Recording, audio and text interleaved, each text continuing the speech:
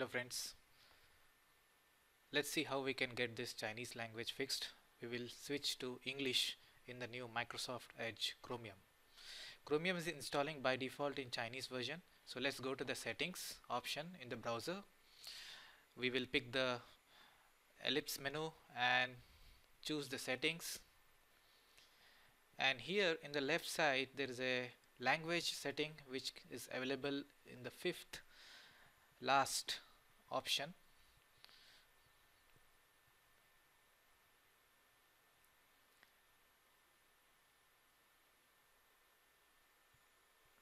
And here uh, all the languages which is installed is shown.